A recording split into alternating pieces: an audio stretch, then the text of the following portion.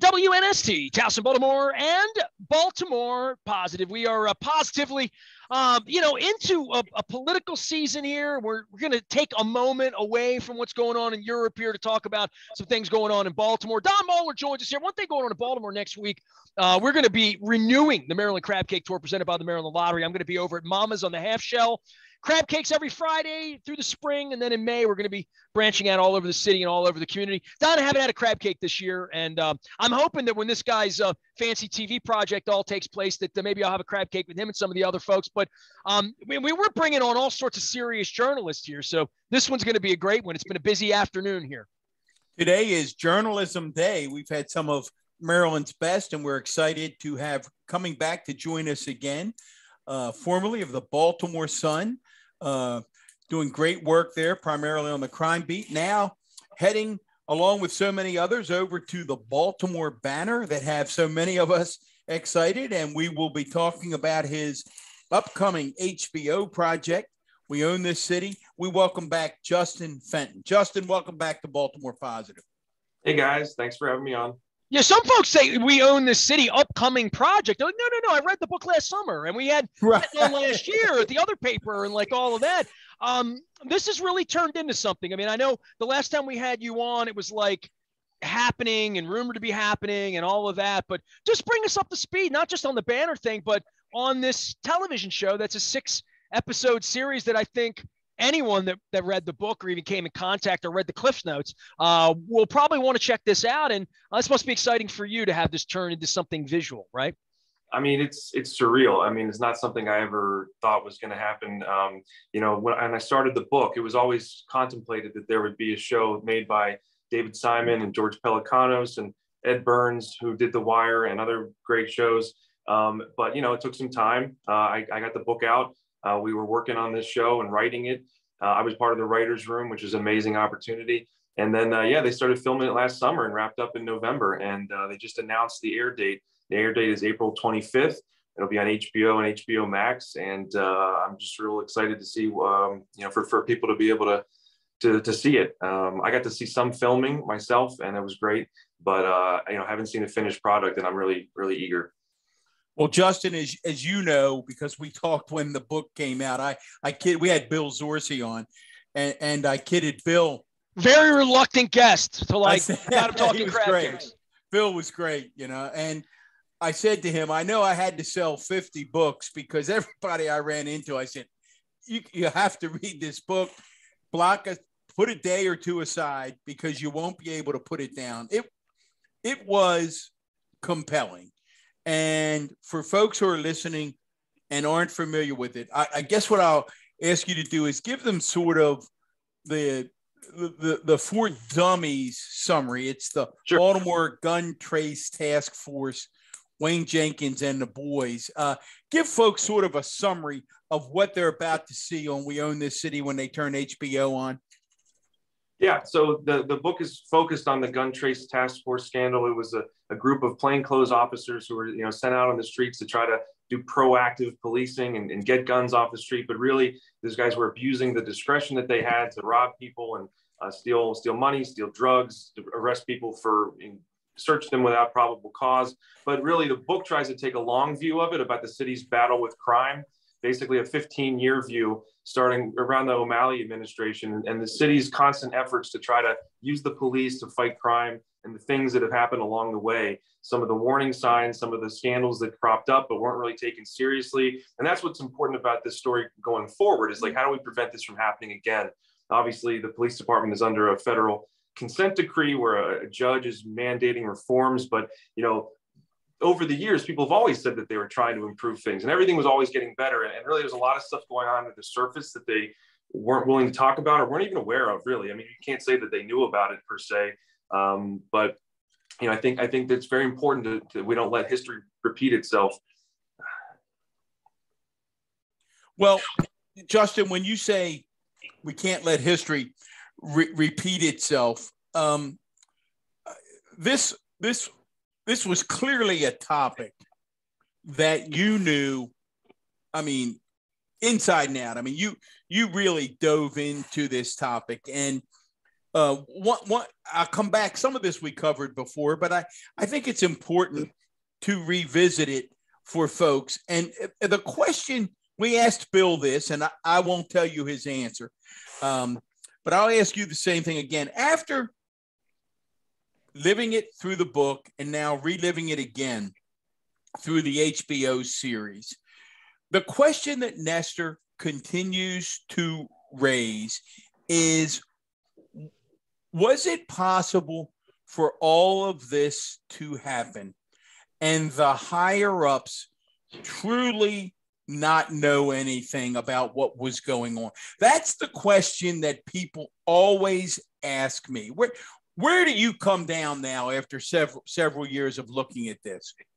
I mean, I think the answer to that is that by its nature, people who are robbing people and, and stealing drugs and dealing drugs, they're not going to want people to know about that. You know, they keep a close circle or they don't tell anybody. I think that's the just criminal nature. So to expect that people knew about that, I don't, I don't, I don't, I don't think that any evidence through all these different reviews and investigations and my own research has really shown that they knew that. I think what is really clear though is that they did know that these officers had problems. They had integrity problems. There was questions being raised. There's accusations being made. Uh, I think there's very much a, a, um, a lack of, um, you know, pe- people did not trust when someone who was arrested made a complaint. They said, "Oh, of course they're saying that. They're just saying that because they got arrested." Um, but at a certain point, these these things start to accumulate, and and when you're dismissing them as one-offs uh, and not looking at the bigger picture, you know, some of these officers weren't really well known to the public. Some of these officers, when they were arrested, it was the first time I'd ever heard their names. Others were extremely well known. I mean, there was the one officer, Daniel Hersl, who I wrote about a couple weeks ago as my last one of my last stories for the Sun. I mean, everybody knew about his his history. With the Sun had written about him. It's been raised in, in numerous different ways, and, and they just kept throwing him back out there. And that circles back to that idea of you know the crime fight. It's all about the crime fight, and he was seen as someone who was working hard and getting results. Um, if if someone had if people had looked a little bit closer, they would they would have seen that they they weren't quite getting those results. These cases didn't stand up in court. But from their perspective of this day in and day out fight uh, against against crime, you know, they they perceived these officers to be effective, and they wanted to keep that going. Justin, well, uh, for for me, ahead, the, the, question for this is how big was the circle? Uh, you know, how many people really knew about? Did girlfriends know about? Like, uh, other than the, the the actual drug dealers that are getting robbed, who I guess couldn't say we were getting robbed or what, whatever was happening with the crimes they were committing primarily to criminals, correct? Right? They, they robbed criminals exclusively or primarily, right? I would say primarily, but not exclusively. No, there's plenty of people who got who got caught up because they were they they fit the profile. They were getting profiled. They, they were stopped because the police were fishing. That was one of the things that really I, I think was eye opening for me was this idea of like so oftentimes the police will hold a press conference and we'll see a court case where they got a gun. They pulled someone over and got a gun, but you really don't hear about the times where they pull people over and find nothing. And what I did was I, I asked for all the body camera footage. God bless body cameras. I mean, to be able to see all the people they pulled over for, you know, for being too far from the curb, from being, you know, uh, at a gas pump without a seatbelt on. There's so many people got pulled over for having not having a seatbelt on at a gas pump. You know, you, you're just getting your, yourself back into your car. You're getting situated. You're, you're pulling. You're not even pulled out on the street. And you're getting pulled over for not having a seatbelt on. And if that happened to the three of us as white dudes, like we'd be like, "You're kidding me, right? Like you got to be kidding me." This was a common tactic. They got them driving off of CVS parking lots, still on the property of a gas station, and, and searched and finding nothing. And that's the kind of stuff that people are, you know, when, when people say they're upset with the police, they're upset with about that kind of stuff. They don't want to be treated that way. And, and the gun trace task force officers, you know, the ones who cooperated with the government really spoke openly about these things. They told us this is what we did. This is how we did it. You know, we pulled over as many people as we could because we knew at a certain point we're going to get lucky and, and, hit on a gun. Um, so, I mean, it's, it's, and, but, but to go back to your question about how many people knew, I, again, I think what I said before, I don't, I don't think it was good for business for these officers to let everybody know, but we've certainly seen examples where it's clear that officers were, there was a wink and a nudge, you know, a, a, wink and a nod, and sort of you know looking the other way and things like that. I think people knew even if they didn't know specifics, and I think they also um, one of the things that's come out is sort of they they surround themselves with like-minded officers. So if they got a hunch that somebody wasn't down with that or that they couldn't trust them, they sort of moved to get themselves away from those people. So in that sense, not everybody knew. Um, but there was, um, I think, I think you know, smoke smoke signals and things like that. Well, there's a lot of stories as well as the officers coming out saying, "I turned, I saw what that guy was doing, I turned him in, and they threw me out." Right, like that. That was part of this as well, right? Not not that directly, but yeah. I mean, there, again, there was officers who, who were sort of not down with the program and got transferred and things like that. So to that extent, they don't know what's going on. They get moved away before they really find out about it. There's not a lot of whistleblower type stuff going on. The book does focus on there's one officer, Ryan Guinn, who brought suspicions to the deputy commissioner. He said, you know, I don't have a good feeling about this, this officer. I saw him hanging out with a guy that we're investigating as a drug dealer in this neighborhood. But did he have the the goods to really have the officer fire or discipline that guy? Or, or maybe did he bring something to their attention that should have caused him to look deeper and they failed to do that? I think that's more of the situation.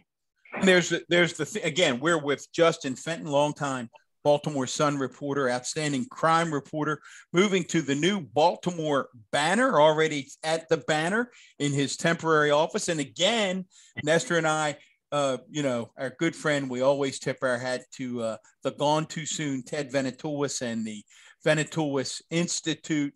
Uh, Ted, one of the most important people uh, in in the in the region, and the Banner will be selling subscriptions soon. So if you believe in a robust free press, please be ready to subscribe to the banner. J- Justin, one of the things that I was struck by when I read the book the first time, and it stood out to me, maybe this goes to what you're talking about again, that there should have been some warning signs, was that I, I think I've said before, I have a cousin that was like a brother to me that ended up as a major in the state police. I don't think he ever fired his gun most police officers that I've known, and I have a lot of close friends who are Baltimore County police officers who come out very well in Justin Fenton's book, by the way. The he Baltimore always points County that out, Justin, just you know. Baltimore County Police Department. It's like but you ran the county or something. Most of them have never, in their career, will never fire their gun.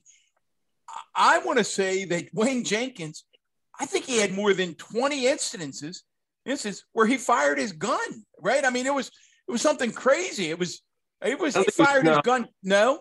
No, no. I mean, the, the, the, brutality stuff. There were some instances instances where he beat people up or things like that. Mostly early in his career. I, I believe I can only think of one shooting he was involved oh, with. Okay. He didn't fire his weapon, and he, he, he bear hugged somebody, and, and other officers fired once they said they saw a gun. But well, yeah. I asked you this. Okay, I, I'm so, I'm sorry, I'm, I'm, i misremembered. I asked you this before. Now that you've studied and and live this Jenkins character for a number of years. What was it that allowed him to have the hold on these other officers that he did? What's what's the magnetism of Wayne Jenkins? Uh, he was described as a as a cowboy, as someone who you know went out on the streets and and was fearless. Um, car crashes, car chases, you know, effective at getting guns. He was very brash in the sense that he you know, he, he made sure everybody in the department knew how good he was. He sent out these daily emails so that, that the whole department would know that they got guns. Um, when he was challenged, he, he pushed back. You know, he was investigated by internal affairs and they, they brought charges against him um, in a case where someone said drugs were planted. And when he finally beat the case, he sent this defiant email like back to internal affairs saying like how you know how dare you and you know how, how dare you do that to me and things like that so he he and this was not someone who was sort of you know, flying under the radar, or lurking in the shadows. This is somebody who's very in your face, and I think that was by design to try to, you know, like so so people wouldn't wouldn't suspect him because he's, he's someone who's so so out there, so so uh, uh, you know pro you know uh, proactive in maintaining his reputation. I think that was all by design. Justin, I, I would say you, you, you, go ahead, Don. I'm just going to say any remorse on Jenkins's part down the road as you followed up, as you sort of kept track of him? Any regrets on his part? Well, I'm sure he's full of regrets. He's serving a long term in prison, but as far, you know, he really tried to maintain, and I think continues to try to maintain that he's not guilty of all the things he's accused of. I think at first he said it was all made up, and then he started to sort, sort of, um, I think since then has tried to say, um, you know, I did some of these things, but not all. He did a radio interview a podcast interview with uh, the BBC actually from prison, uh, where he admitted some things. And I think he, but he also, you know, he he, uh, there was a review recently, an outside review by Michael Bromwich, the former Inspector General of the Justice Department, and he did a review of this case. took took years, um, cost the city like five million dollars. And you know, he tried to talk to Jenkins, and Jenkins had all these demands. You know, he wouldn't. He wanted it to be on his terms and they basically talked to him for a brief time and told him forget it. Um, so I mean, you know, that I think that kind of gives a, a window into his current mindset. Justin, uh, making a film out of this or making a dramatization out of it, I mean, I, I, think it's one thing for a journalist like you to say, all right, we're going to do a documentary and we're just going to go with the facts and we have pictures and we have evidence and we have, you know, people we could sit down and talk to about and piecing the story together. I love that stuff. Um, and, but this is different. This is David getting involved in this. Um, I have never seen The Wire. I've admitted that already to Bill Zorzi uh, once this week, but um, talk me into seeing this because I'm going to commit the six hours to doing it just because I'm so fascinated by your book and the story. But in putting this together as a dramatization, where do we meet Wayne Jenkins in your story? You know what I mean? Is this first time out where he roughs up the first person and get? I, I'm I'm trying to get a hold of how you turn this incredibly heinous story into television because I'm sure you were unfamiliar with this as well. Yeah, no, it was very interesting to observe the process. I was there mostly as a consultant to sort of try to throw out real life events that happened, try to make sure things were based in things that things and, and real real people and real events. Um, you know, I, I think that um, um, I'm trying to think what's what's my pitch for why you should watch it. I mean, again, these are talented storytellers. They've done so many amazing shows. You know, Show Me a Hero and The Deuce and and uh, The Plot Against America. I think you know The Wire. Um, uh, showed people, um, you know, the drug war and the, the, the different, the ways people experience the criminal justice system and how this city, uh, you know, was, was run. Uh, it was based on events that were true from the, uh, off the, the writer's experiences, but, but ultimately fiction. Um, this, this story is real. You know, this story really happened. Um, and we have actors that are going to portray those real people and tell that story. There's other people who are sort of symbols of of of, of other. You know, there, there's a character who's an investigator from the Department of Justice, and she comes here trying to understand how these things happen. So through her, you know, we, we she interviews people, residents, police officers, trying to understand how we got here and how we can get out of it. And so I just think, um, you know, I, I think based on a true story is uh, is a good way to tell it. Um, so we can recreate some of these things that we don't have camera footage for, we weren't there for, that we can't tell through a documentary. Um, but instead, with these great actors like Josh Charles, who's from Baltimore, and Jon Bernthal, who's amazing and is in, seems like he's in everything these days. So I hope uh, I hope it tells uh, I hope people learn something. How, how much of it do you know what was said from witnesses and saying this is the way this went down in an alley or wherever these incidents of crime happen to know what Wayne Jenkins might have actually said. You know, I and I again, we're not making reality TV here, but just trying to put yourself because I'm sure in writing the book and through all this, you're getting real quotes as a reporter would, right. and then trying to piece the rest of it together as to how the hell this they got away with this. Because that really is the story. I mean, that's the thing that Don and I are like, how the hell did this happen? Um, I'm sure the TV part of this is trying to explain how it happened. Yeah, I mean, for the books, for sure. There's no quote. There's no quotes that weren't actually said by somebody, and and so I relied on court documents, videos of court hearings, you know, eh, body camera videos, reports. There's wiretaps from when the FBI was investigating, where we can actually there's real time conversations, um, including conversations that didn't get released to the public. Um, but yeah, I mean, so so for this, the the dialogue, there, there's there's definitely some moments in the show that are directly as they happened, and that was that was surreal to watch you know watching actors say dialogue that in fact is the real dialogue. But of course there's many other things where it is our best guess of what might have been said or trying to you know pr- portray that moment that we we know happened but we don't have the actual you know we weren't there uh we, there, there wasn't cameras rolling. So you know it, it, it, it it's a mix of that. You've never talked to jenkins in your life? Is that fair to say is that correct or incorrect? I have not talked to him. I, there was a time where he wanted to speak to me he sent me a package through his via his wife, and it was a video that he said would show that the claims against him were not true. It was a video where someone was claiming someone had a press conference and said, um, you know, the gun was planted on me. And he sent me body camera footage that definitively shows that that gun was not planted on that guy, that you can see it. It, it was not planted. He admitted to it. And so he, but again, in Jenkins' warped world, he's thinking, well, just this one guy's lying, so everybody else is lying, which isn't true. We know that all the other, many of the other things happened beyond a reasonable doubt. Um, and then, as they said, if you write this, he'll, he'll, he'll talk to you. And, and I wanted to write it anyway. I thought it was fair. I thought it was fair to show that not not every claim was true. This this fog of how do we know the next time this happens who's telling the truth and who's not. That, that there's different um, incentives for people to, to perhaps you know now that this has come to light, sort of sort of come to the table with all sorts of claims. So I so I, I wrote it because I wanted to write it regardless. And he must not have liked it, or maybe he got what he needed out of me and he did not speak to me. Then I think they approached me. Um, he had a friend he served time with who's out now who was trying to coordinate interviews. And at a certain point, I felt, and I don't know what, um, other than the sheer curiosity of speaking with him, it didn't seem like he was willing to really own up to things and be honest. And he had an agenda. And I, and I really was sort of like, I don't know what the point of this is. So I have not pushed it.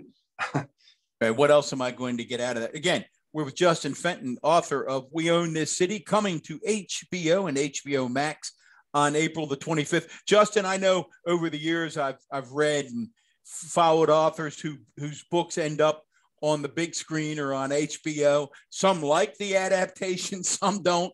Uh, you happy with the six episodes as they come out and as it captures your book? I haven't seen them yet, but again, I've seen those scripts and I saw some of the filming, and yeah, I, am I'm uh, I, am excited for people to, to see it. When are you going to see it, man? I mean, like this is I'm asking you about it. You're like, oh, you know, I'm seeing little parts of it, and this is your baby, right? Like, and you're not really in control. You're just going to watch it, and that's it, whatever it is, it is. And this, but when when do you get to sit in a suite? Do they invite you to New York? Do you get champagne? What happens, man? So I'm, I'm not I'm not disavowing the project. I did. It really is David Simon and George Pelecanos. It's their it's their baby. You know, they're up in New York City editing it. I'm lucky to be involved in some way, but but that's uh, you know it's it's their project that I got to. Well, Simon was out drunk the other night, pissed off that it had to go down to 58 and a half minutes from 61. I remember that. And you tell him, and I told Zorzi this. I collected this book of maledicta back in the 90s, which is ways to insult people across centuries uh, with all sorts of really heinous insults in every language imaginable, translated to English. And I want to give that to David as a gift for his Twitter use. So you he, let him know that. He will definitely he will definitely get a lot of use out of that. But no, and honestly, I, I I am at, at, the, at, the, Baltimore Banner. We're not up yet, not up and running, but we're working very hard. There's a lot of work to be done. So, you know, while I'm very excited about the show and, and, and can't wait for it to come out, we're, we are doing some uh, uh, very interesting things here, trying to get set up for our, our, our launch in a few months. And you're busy well, writing the next book. promise to let you talk about the banner at length here. Before we do that, though, um, one of the be malpractice if we don't do this so many tragic characters in We Own This City. One that I continue to think about, you and I and Nestor have spoken about before, is Sean Suiter. Um, uh, again, is Suiter, uh, is he just damaged? But I mean, is he just along for the ride at the end? Is he just a tragic figure that gets drawn into this and we're, we're not sure if he killed himself or not. I mean, what's your take after all this about Sean Suiter?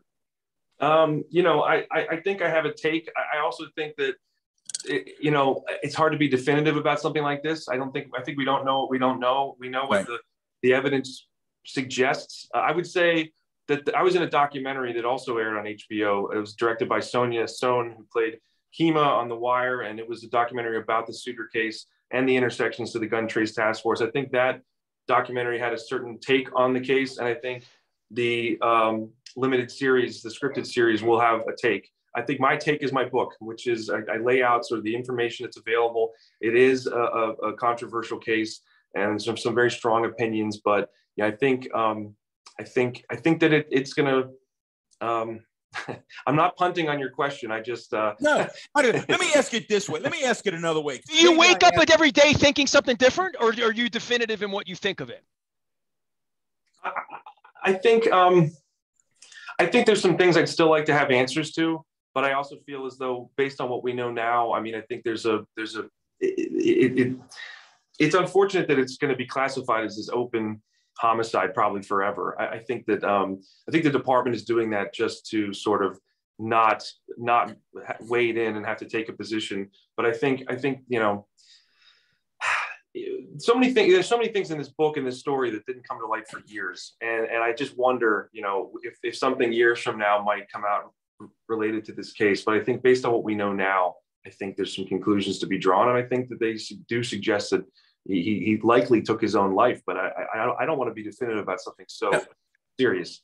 You know, Justin, your response there, I think, is so consistent. And I've spoken to other reporters who have who dived into this case, uh, the Suiter case, in some detail, and and I think your description is is really apt in that most of them will say to me, Don, I, my gut tells me that he did take his own life, but I've got to tell you, there's always this other piece that makes me a little uneasy. So it, it's it's almost like everybody's where you are in terms of it, it appears so, but there's a but. So again, so many reasons to tune in on April the 25th. Hey, Justin, talk a little bit about uh, so many of our buds have moved from the sun, uh, coming over to the banner from, uh, you know, uh, Pam Wood to uh, Liz Bowie. Uh, you know, got a whole crowd coming over there. Um, how tough of a decision was it? I mean, you were a Sun guy. You grew up there. You cut your teeth there, and now you're on to this exciting new venture. Talk to our listeners about the process of ending up at the banner. Yeah, I mean, you know, I grew up in Anne Arundel County. I, I, have worked at the Sun. It's the only place I've ever worked. Uh, I've spent almost 17 years there, but I'm really excited to be building something here. You know, I joined the Sun when it had over 300 reporters. It now is about 60. Um, you know, the banner's starting out with a small number, but we're going to be growing. And I, you know, this all grew out of the Save Our Sun effort, which was a group of reporters led by Liz Bowie, who you mentioned, trying to trying to you know get new ownership, trying to do a nonprofit model for journalism. You know, we just there's been this slow decline of not just the Sun, but but all all media really. Lo- lo- local media is struggling, and you know. There was a chance to rethink it. And so the people that were behind Save Our Sun are now behind this effort. And it's a new model um, from from top, top to bottom, and um, and I think it's a great it's a great chance to do different. We're rethinking how we cover things. Why do we cover things? What do we cover? You know, we have a lot of conversations about what is a banner story because we're going to try to be different from the Sun. We don't want to be, even though yes, I, I spent a lot of time there, and some of my colleagues have come over. And we haven't hired everybody. We, it's important for them that it's not seen as the Sun 2.0 because we're trying to do something different. At the same time, it's important to have people who know what they're doing, who know their way around town, who, who have who have sources, who have context and history. So we're trying to balance all that and, and, and bring a new vision to journalism. We started a newsletter. Um, we put out two newsletters so far. Again, we're not going to do it all the time because we have a long view of trying to get some really impactful journalism for the launch in a few months. But you know, Tim Prudente, who came over with me, he did a story about problems at the medical examiner's office. He found a secret morgue downtown in a parking garage where they, they have too many bodies piling up. They can't keep up. Uh, and the um, medical examiner. It's amazing what government tries to keep secret, right? And Don and I get sideways all the time about you don't trust it. And I'm thinking, man, if if Tim's not down there, you're not down there. If the Sun goes out of business and, and there's no Ted and there's no Bain, who's Who's doing well, this wait, in New Orleans? Who's doing this in other places? Investigating su- government. You're not suggesting that I don't believe in transparency in government and no, I'm, I'm, we don't I'm, need I'm, a robust free press, are No, you? no, no. I'm I'm saying there is stench in government and someone needs to investigate it and not just there is there's nothing there to see. I mean, this this story of the morgue thing is so it almost sounds far fetched. Like dirty cops, yeah. I could sort of see maybe that could have but but hiding these things that reporters have to go find these things or the fbi in you know certain cases has to find these things it really i i shudder at a world without that literally if we don't have that. And that's that is what like you know um we feel a lot of pressure for that reason because we know there are a lot of things that we should be looking into that maybe decades ago there was people actively looking into. There's so many areas of government where we didn't show up. We stopped showing up and our presence became foreign. And now we don't get that sort of access anymore. You know we used to ask for things regularly. We stopped asking. And then when you ask now they say what, what why should we give you that? And it's like you have to give me that. It's just been a while. And, and so much of the job is sort of trying to remind people of their obligations and making sure that things continue to be provided we're not even talking about improving the level of things that are provided, maintaining a status quo, holding the line on things. I, I, I had to wait. I mean, not to go off on a, a, rant, but I did a story for the Banner newsletter about uh, the fire, the awful fire at the uh, on Stricker Street that cost. Yeah, I, I want to talk about that story. Go ahead. I mean, you know, it was mentioned that there was a previous fire there in 2015 where also four firefighters were injured. So I wanted to get the incident report for that incident. Very simple request, something that should take probably five minutes, if not, you know, at the end of the business. 16 days to get that report. Had to go up to the city solicitor himself. Why you know, is that? Is there is there something once that happens, or you think, oh, now they're hiding something? Like the minute you don't get it right away, no, who's back there scrubbing? And then all of a no. sudden, the reporter mind in you's like, this is how we find out about Wayne Jenkins, literally, right? I mean, it's it's one thing that leads to another thing. I, I would say though that in my experience, though, once I get got, got, that report, it really didn't say anything. It's really just this, ad, bad attitude among government of just sort of, you know, let's make this difficult. Let's make this difficult, and so that it won't even bother asking for it. Um, and and and um, you know, I got yeah, it took 16 days to get the report. I texted the mayor, I called the city solicitor. I was like, and this is not something that I should be bothering these people at that level about, but it, these are the day in and day out challenges, and why we need to hold the line. You know, we the judiciary just changed something to the online court database, and my colleague Tim is he sent an email out to 20 important people saying you can't do this. You're supposed to have a meeting where you where you clear these things. You know these are the types of things we do that don't make the paper. We don't write an article about it but it's, it's the fighting that like needs to occur in order to keep things oh, uh, open. It's so important and it's so frustrating to some of us who spent a long time in government that that transparency d- does not exist. Hey justin what what's the difference so far do you think? And uh, when you all discuss it um, between writing a fully digital project product versus uh, a digital and print product how does what's your thoughts on that?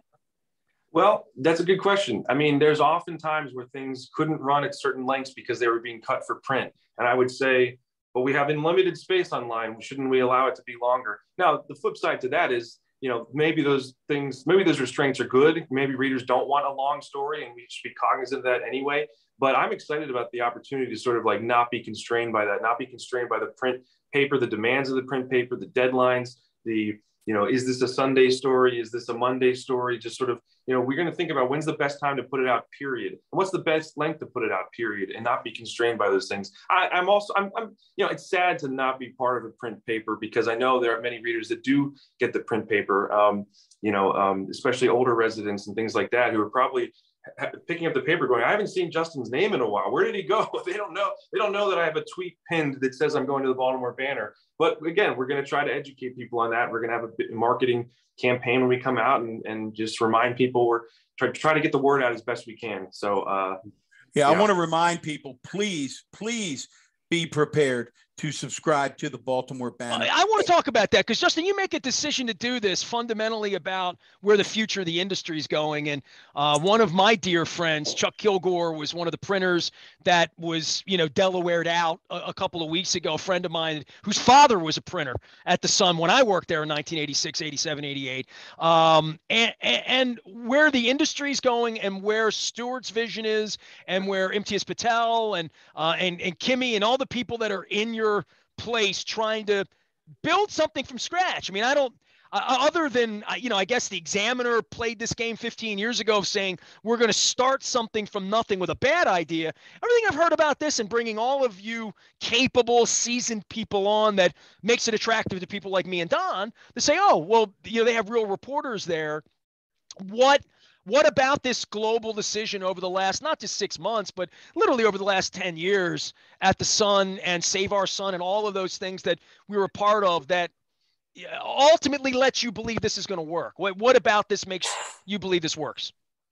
I'm really encouraged by the fact that before they started hiring reporters over the past month or so, they had business people with experience at Wall Street Journal, Dow Jones, other places.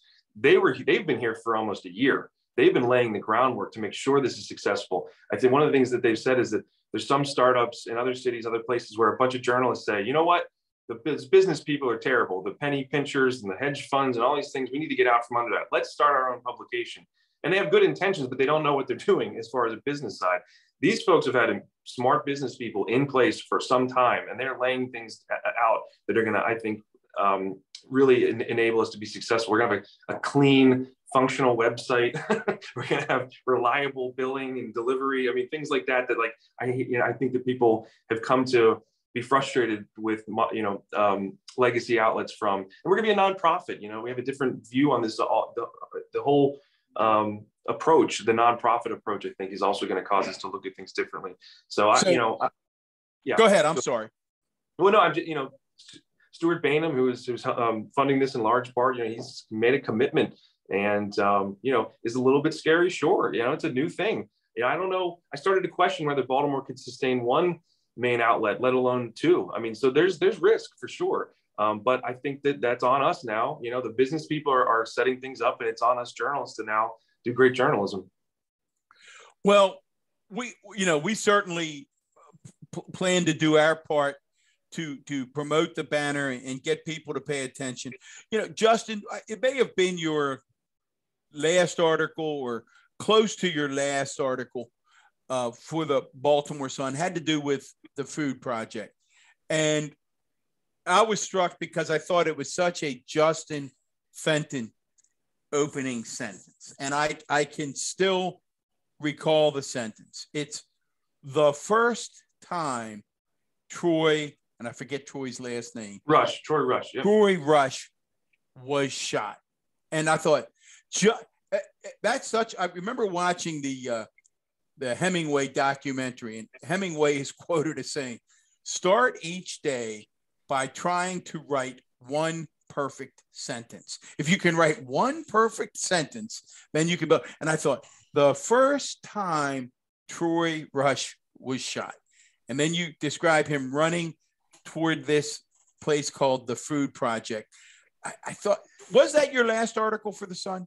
It was, and I'm very proud it was my last article for this. oh, it's it's tell folks about the Food Project and Troy because I was moved by it. Carol, the Food Project is a program for youth, um, older youth, teenagers, young, young men and women in the Carrollton Ridge neighborhood of Southwest Baltimore, and that's a neighborhood that is, quite frankly, like haunted me for some time. It is one. It is perhaps the most challenged neighborhood in Baltimore. Um, incredible amount of vacancy, um, lots of uh, open air drug drug dealing and using, lots of fires, lots of gun violence. And you know, I I, um, I came to the story last summer because a source told me that uh, one of the teenagers who had um, beaten up Rikki Spector, the city councilwoman who was carjacked and beaten up, that he'd been charged with a murder. And basically, I thought, you know, I went back to the coverage of that case. Ms. Spector had really tried to help that young man and the other um, person who had also attacked her. She wanted to help them. She didn't want them to go to jail. She wanted them to get support. And I thought, what happened? You know, if he was set up with this program, how did that happen? And the story was going to be basically about a, a, a young man who committed a, a, horrible crime after getting a second chance after committing a previous horrible crime. And as, and as I started talking to her and the people at the Food Project, they said, you, you know, you've got it all wrong, which usually for me is I say, no, no, you know, I, I'll tell the story. You don't tell me how to write the story. I, I you know, I'm going to evaluate this and tell the story I, I, that I think is there. But they really did a great job of convincing me that this program lacks resources. And this is a program. Carrollton Ridge has had 30 homicides over the past two years. That is far and away more than any other city neighborhood. And, and this is the one of the only programs is trying to help people in that area, and they don't have any funding. So what they said was, you know, every time a young person gets shot, you know, they, they have the budget to help maybe 12 people at a time there, um, a drop in the bucket. But when something tragic happens, all of a sudden 40 people show up at the door saying, we, we want to get out of this kind of lifestyle. We want support. We want to help our families. And they don't have the money for it. The city made available $50 million in funding uh, for, from COVID relief for anti-violence, but, the, but they applied for money and couldn't get any. They were told, you're not an anti-violence program. You know, that's what you know there's more other organizations that more acutely work on anti-violence but they're saying getting people jobs giving them somewhere to go that's anti-violence. That's keeping them out of trouble. So my last crime story for the sun didn't quote police at all. It wasn't a police story. It's about a community that, that believes they have an answer to the problem and they, they, they, they, they need help. And so i was hoping that by getting the word out that they that would get them some help. I'm doing a, a book event that's sold out, so I'm not advertising it, but at, at Monument City Brewing on Saturday, and they're going to donate. Pro, they asked me, we want to donate some of the proceeds of the event from from beer sales and otherwise. I to, can't to come. What if I'm thirsty, man? Come on. well, they're gonna they're gonna they're gonna donate the, the, proceeds to the food project. So you know, and I, I want to continue. I, I think it's set up me up well for the transition because I want to do more stories like that, that that talk about what are some of the people who have solutions how can we help them and how can we be more positive well, well the, the, solution part of it, right, is part of like the journalism part. We're like, I don't provide solutions. I tell stories, right? And then, there, but but you've moved. This has moved you in a different way, right? Is, is this part of the reporting you've done? Is and seeing all of this carnage uh, as a part of it that you feel like that maybe the journalism pen can become a solution tool?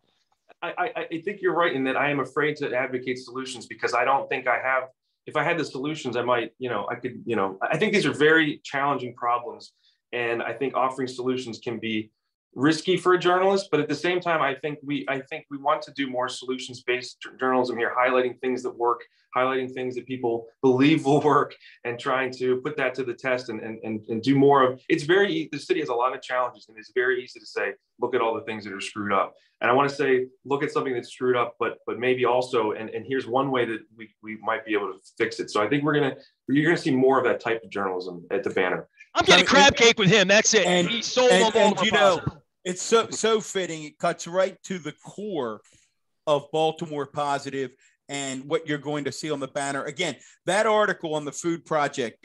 I would encourage everyone go out, Google it. Justin Fenton Food Project. It ends with a banner hangs in the interior of the building where Dorsey and others are working to open the Food Project's restaurant and business incubator, grinding two times as hard in honor of Troy Rush Jr. It's about as positive as it gets. Check it out, folks. Justin, good luck on the HBO series. Good luck at the Baltimore banner. And we look forward to having you back on soon. All right. Thank you so much, guys. Hey, dude, I'm going to be following you on Twitter. And whenever you get into that suite and they give you the champagne, and I mean, you have to sit for six hours and watch your own thing, right? So I don't know if you're going to do that all in one sitting or how it's going to go. But uh, I definitely want you tweeting about uh, your excitement level because uh, I think we're excited about watching it. Yeah. I hope to do some like behind the scenes tweets, little, little nuggets of, uh, you know, uh, fun facts about things from the making of the show. Tell tell him Simon I've got that Maledict the book. It's in paperback. He's gonna love it. All right, he, he's gonna love it. Believe me, I I love reading it in his voice. Justin Fenton here of the Baltimore Banner. We're having more Banner folks on, the former Sun folks on. Uh, we are getting the Maryland Crab Cake Tour back out on the road. We're coming to Canton at Mama's on the Half Shell and Nacho Mama's having the Scunny Crab Cake. That'll happen on Friday the 4th to honor my father's birthday's March 5th. We're uh, it's all presented by the Maryland Lottery. We'll be letting ourselves play and getting it back out. All of our Weis conversations also brought to you by our friends at Weis Markets, and uh, we're very appreciative of their sponsorship as well. Don, what a banner week we're having around here, huh? Doesn't get any better than this. I will have the popcorn on April the 25th. There you go. All right. Well, uh, ice down the drinks. I'll be over in Catonsville in the 21228. I am Nestor on behalf of former Baltimore County Executive Don Mohler. We are WNST AM 1570 Towson, Baltimore, and we never stop talking Baltimore positive.